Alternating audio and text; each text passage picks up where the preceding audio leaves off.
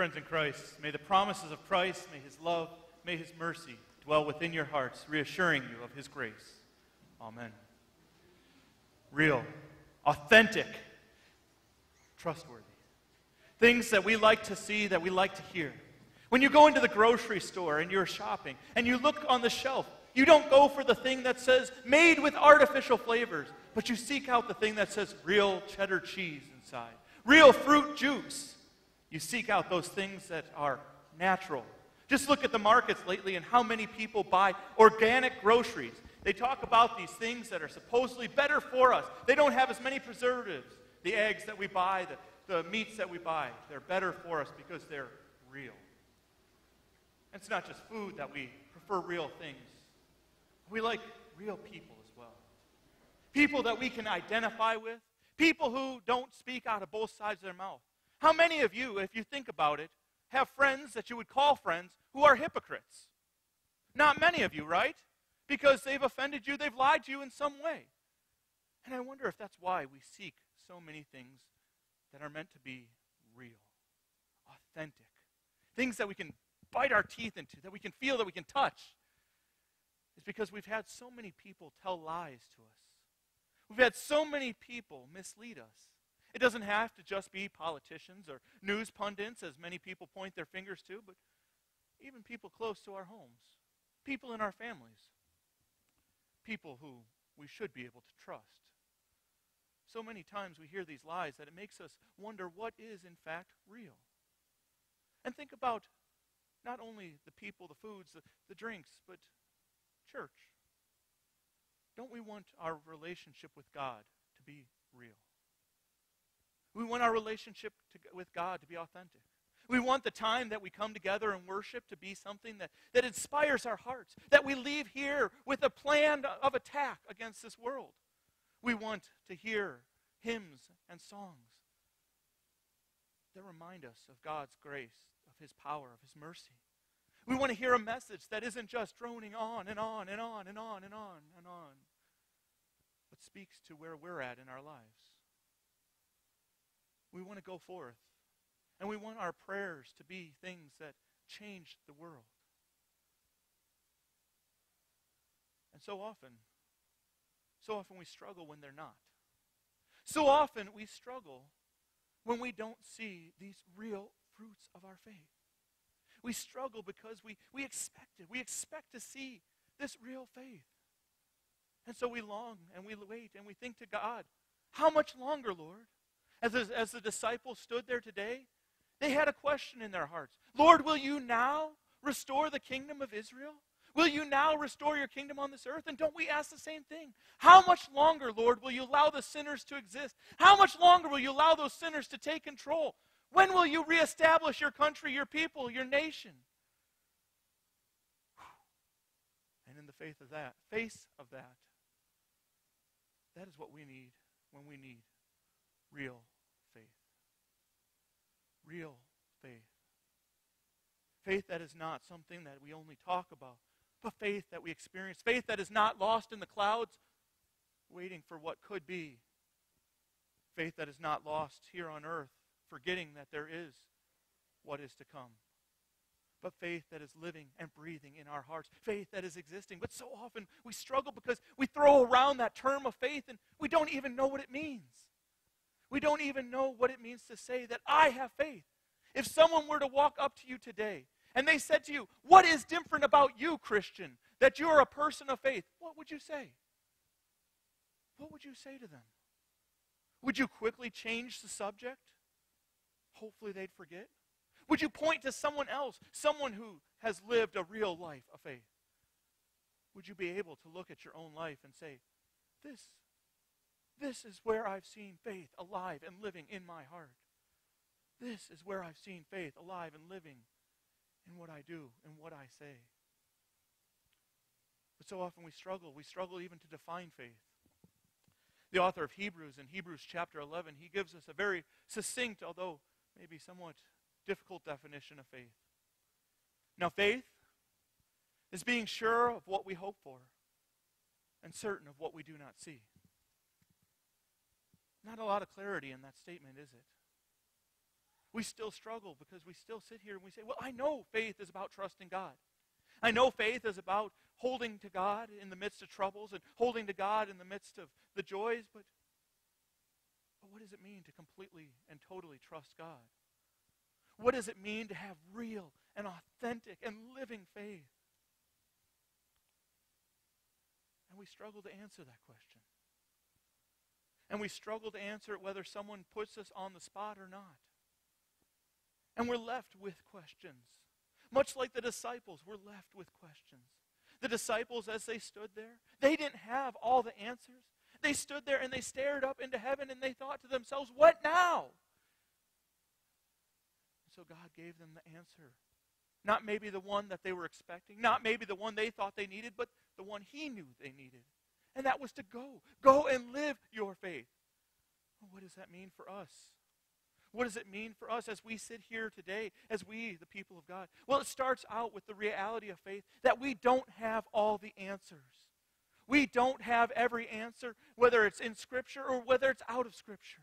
We don't have the answer to why creation was able to happen in six days and God to rest in seven days. We don't have the answer as to how God can dwell within our hearts and dwell within heaven. We don't have the answer of how he could die on the cross, taking on human form, even though he is God, who is omnipresent, present everywhere, uh, eternal, not bound by time. We don't have the answer to that. We don't have the answer to how he is able to be present in the Lord's Supper. We don't have the answer to how he can provide forgiveness through baptism. But we do have his answer. It is faith. Trust me. Trust me, God says to us over and over again in Scripture. Trust me, he says. And you may not have the answer of how. You may not have the answer of why. I know I don't. And that is why we have to have faith. The assurance of what is hoped for, what is not seen. The assurance that He is in control. The assurance that He is all powerful. The assurance that He has not left us here by ourselves. Real faith is about admitting that we don't have all the answers. It is admitting that when someone is in trouble, we don't have the answer as to why. It is admitting to that family, there's a Christian family who lost their son in that Boston Marathon explosion. And they're probably asking that question of why, but admitting that we don't have the answer to that. There's many Christians who ran in the Boston Marathon who lost arms and legs and were hurt very severely. Why? We don't have the answer to that. But God's answer is trust me. Trust Him because He is God and we are people. And that's a hard thing for us to do, even if you're a seasoned Christian. It's hard for us to say, I don't have the answer to that question. It's hard for us to say, I don't know why God allowed that to happen, but I will continue to trust in Him. I will continue to cling to the promises in His Word. But that's hard for us. That's hard for us because we do want to be able to explain what is happening. We do want to be able to tell people, this is why. We want to be able to call God to account when he has done something that we don't expect or think he should. But we're not God. We're not God, and we are his people. We are his people who are forced to trust in him and trust in the promises he's given us. We are his people who, who, who cry out for real faith, something authentic but sometimes find ourselves straying further and further away. Find ourselves saying prayers that are just repetition from yesterday, simply words that slide out of our mouths so easily. We find ourselves as Christian people who come together and worship, lifting up our hearts in prayer and praise and finding an anchor there, weighing them down. We find ourselves listening to a pastor preach who seems to browbeat us and discourage us instead of uplifting and encouraging us. We find that worship becomes an ob- obligation instead of an opportunity. We find that even sharing our faith becomes a burden on our lives. One more thing that I have to do instead of saying it's something I want to do. And think about it in your own lives for just a minute. Think about your prayer life for just a moment. Do you really consider your relationship with God a real relationship? As you take time? Do you take time in prayer? Or is prayer a passing thing that happens when you have a moment? Do you take time to, to think about your actions, the way you live, the way that you behave towards others, the way you speak to them? Does it reflect God living within your heart? Think about the way that you look at worship, the way that you treat worship. Is it a reflection of God's love for you, the mercy He has shown you? So often, we as Christians, as we look at our own hearts, as we look at our own lives, have to admit that, well, sadly, we are inauthentic. We are those who are unreal. We talk of faith, but we don't live our faith. It's an accusation that has been made by those outside the church. They've looked at those in the church and they said, I thought you were supposed to be different. Are their accusations right? I'll let you dwell on that.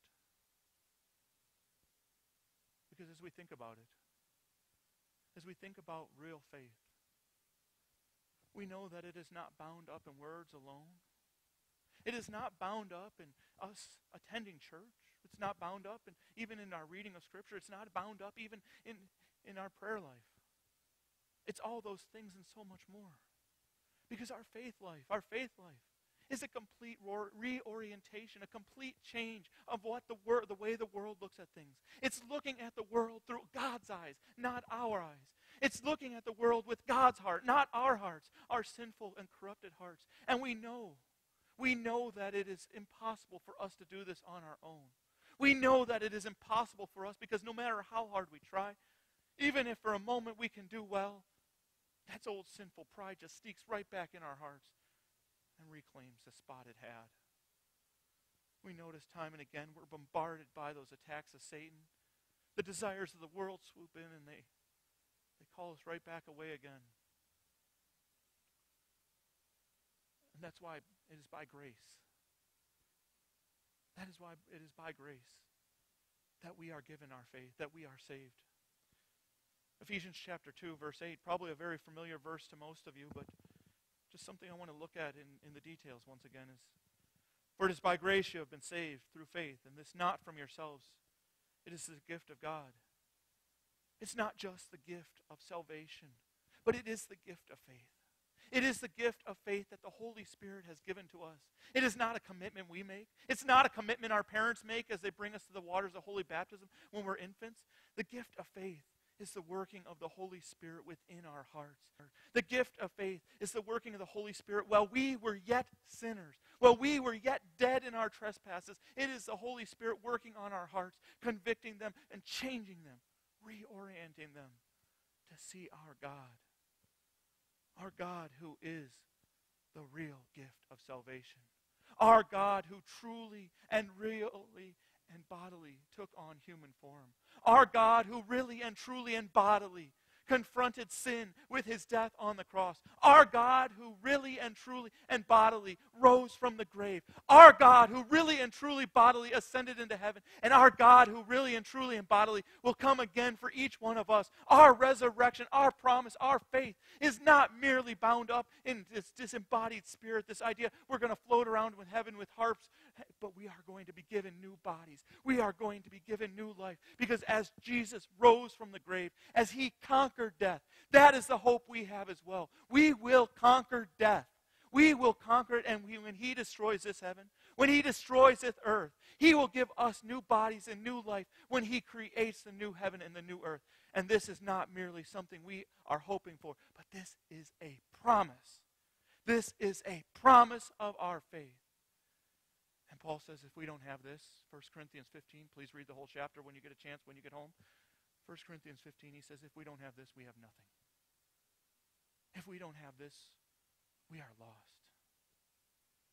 But because we do have the physical resurrection, because we do have that true hope of the resurrection, we have hope for each day on this earth. And we can have real, true, bodily faith. And if you don't believe me, Paul just He couldn't help himself, and, and I need to share this with you, so bear with me. It's five verses long, but it's worth the time. And again, 2 Corinthians chapter 5, after you get done 1 Corinthians 15, read 2 Corinthians 5 as well. But it's a reminder that this body, this body of aches and pains, this body of, of death, this body of hurt, of sadness, is going to be replaced with a new body, a new, more perfect one. Now we know that if the earthly tent we live in is destroyed, we have a building from God, an eternal house in heaven. It's not built by human hands. Meanwhile, we groan, longing to be clothed with our heavenly dwelling. Because when we are clothed, we will not be found naked. For while we are in this tent, we groan and we are burdened, because we do not wish to be unclothed, but to be clothed with our heavenly dwelling, so that what is mortal may be swallowed up by life. Now it is God who has made us for this very purpose, and who has given us this Spirit as a deposit, guaranteeing what is to come. Guaranteeing what is to come.